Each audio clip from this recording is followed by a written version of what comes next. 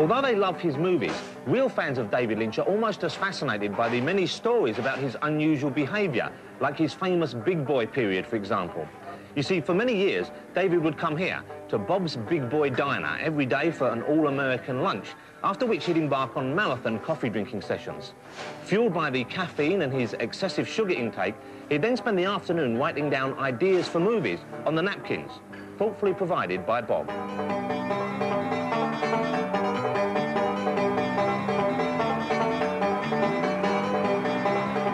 I was into Bob's um, halfway through Eraserhead for seven years. Um, actually, Dune, uh, the end of Dune was pretty much the end of uh, Bob's.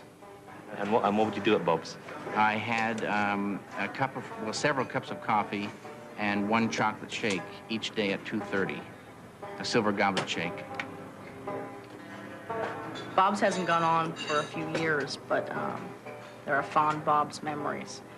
Um, Bob's went on for, shoot. It was a it was a ritualistic experience for at least eight nine years of my life, solid, daily ritualistic experience. 2:30 Bob's time, no no doubt about it. And you were in the car and off to Bob's.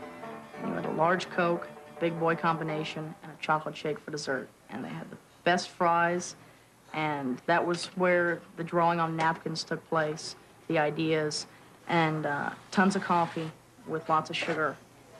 I would get onto a sugar jag and create on the napkins, try to get ideas. So what, what would sugar, what kind of a rush would you get from that? Well, it would just a sort of a euphoria, a happiness. And do you still use mood-altering substances like sugar today? Yeah, I'm heavily into sugar. I, I, I call it granulated happiness. And um, it's um, uh, just a, you know, a great, you know, help, a friend.